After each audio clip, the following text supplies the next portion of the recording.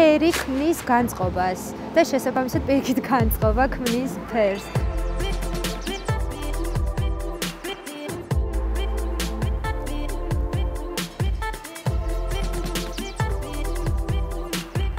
ზოგადად ჩვენი ქალაქი არის ძალიან ნაცრისფერი და ქუჩაშიც რო დავდივართ, აა ეს ვუყურებთ ხალხს ყველა არის მოწყენილი ყველა ესეთ ხასიათზე არის მოუშვილი რაღაცნაირად და მგონია რომ ეს ჩვენი ქუჩის ხელოვნება რაღაცნაირად დადებითად იმოქმედებს ადამიანებზე უფრო მეტი ხალისი შემოვა მაგრამ ძალიან კარგი იქნებოდა ვის ცოტათი გაფერადება და გალამაზება.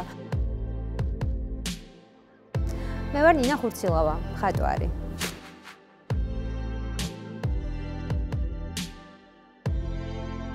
ქუჩის ხელოვნებით შეგვიძლია რომ რა რა რა ფერსაც იხმარ, იმ ფერი განწყობა შეესთავაზო ნახვალს. მაგალითად, კომპოზიციასაც ყოველთვის გააჩნია ხოლმე, ანუ თუ თუ არის ისეთი მესიჯი სათქმელი, რომელიც არის ძალიან მწვავე და მტკივნეული, ასე ვთქვათ, იმასაც თავისი შესაბამისი ფერები აქვს. თუ არის რამე სახალისო თავისუფალი და ისეთი სიყვარულსავსე იქ არის უკვე სხვა სხვანაირი ფერები უფრო მრავალფეროვანი უფრო ჭრელი და უფრო ლამაზი. ძალიან მნიშვნელოვანი არის რომ ხელი შევუწყოთ ამ მიმართულების განვითარებას საქართველოში. ამ ფორმით იჭრება ისეთი საკითხები, მაგალითად ტაბუ დადებული თემები, ან ისეთი სოციალური საკითხები, ისეთი მტკივნეული საკითხები, რაც შეიძლება რომ გამოიხატოს სხვანაირად. ქუჩის ხელოვნება გვაძლევს ამის საშუალებას, რომ ეს სათქმელი ვთქვათ და მივაწოდოთ ის საზოგადოებას.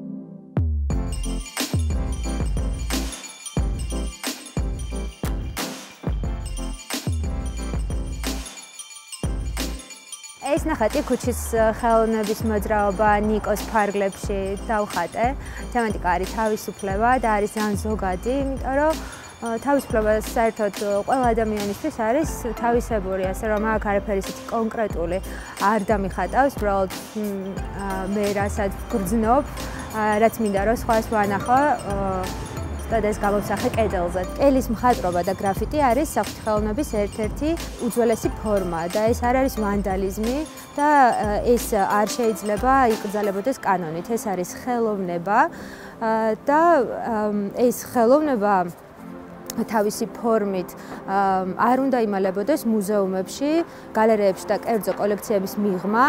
ის უნდა იყოს ხელმისაწვდომი ყველასათვის და ის უნდა იყოს შთამბეჭდავი და დემოკრატიული, რაც იმას ნიშნავს, რომ ყველა ადამიანს აქვს უფლება, რომ შექმნას ხელოვნების ნიმუში და აჩვენოს ის სხვას. მხატვრობა ისეთი რაღაცა არის, ეს არ არის პროფესია, ეს არის ასე ვთქვათ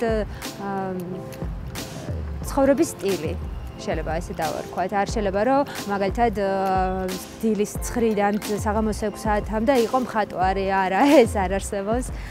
შენ ხარ მთელი 24 საათის განმავლობაში შემოქმედი არტისტი და ეს გრძელდება მთელი ცხოვრების განმავლობაში.